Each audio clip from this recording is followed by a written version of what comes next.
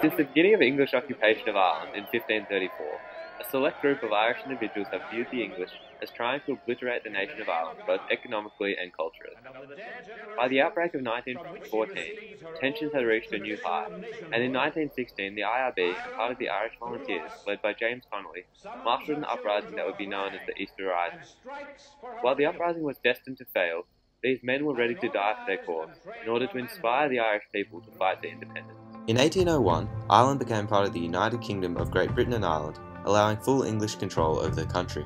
This led to resistance among the Irish, with the idea of Home Rule being voiced by Isaac Butt in the 1870s.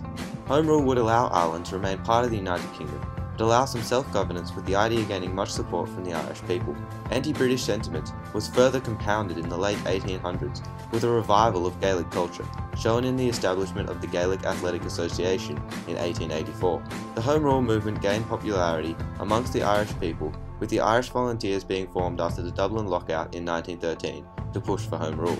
Before a Home Rule Act could be passed though, in 1914, the outbreak of World War I led to its postponement, with 120,000 of the Irish volunteers going to support the British war effort.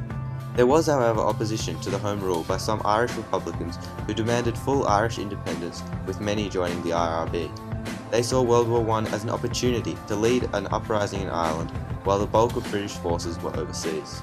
The IRB, along with 10,000 remaining Irish volunteers, began planning a rebellion during World War I. Their main issue, however, was a lack of arms, which they hoped to deal with by the Germans sending them weapons and supplies. The capturing of the German supply ship by British intelligence on the 21st of April 1916, however, destroyed any chances of a rebel victory. Nonetheless, on the Easter Monday on the 24th of April 1916, at noon, the uprisings began. Due to Eoin MacNeill's countermanding order, however, only 1,600 rebels showed up. The rebels were initially successful in capturing the designated sites which would act as forming the defensive arcs. The General Post Office, which would serve as headquarters, was captured where the proclamation of the Irish Republic was read out.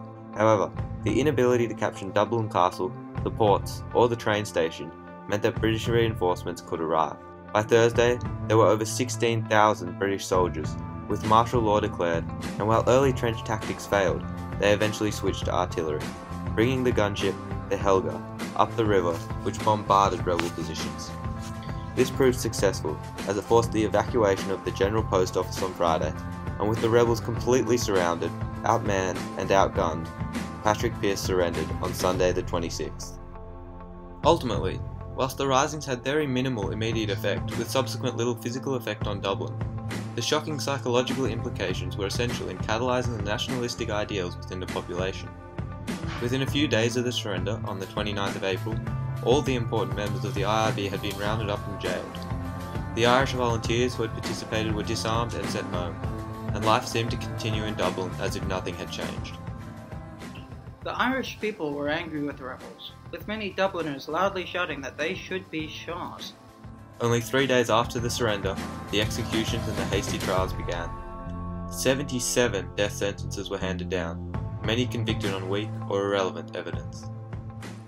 Whilst only 15 executions were carried out, the brutal treatment of the leaders of the Rising caused many to reassess their views. As Patrick Pearse predicted, the leaders of the Rising had made the sacrifices necessary to mobilize the Irish people and made them realize the strength of their own nationhood. Whilst the realization was not immediate, and in the short term not particularly passionate, there was a catalyst that led to independence. The people of Ireland, with a newfound nationalistic attitude, established the goal to defeat the British in Parliament, replacing the Irish supporters of Home Rule with Republicans.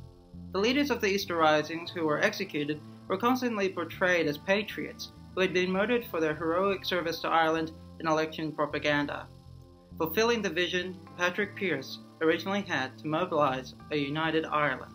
The leaders of the Easter Risings had a vision to change the nation of Ireland and liberate the people from the oppression of the British. A vision that was realised six years later. A vision that has changed the global political landscape.